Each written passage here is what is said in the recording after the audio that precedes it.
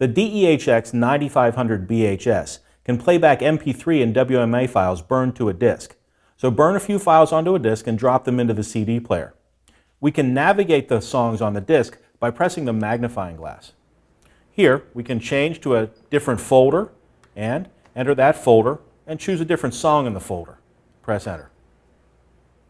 We can skip between songs using the lever key. To change the information displayed on the screen, just hit the back button.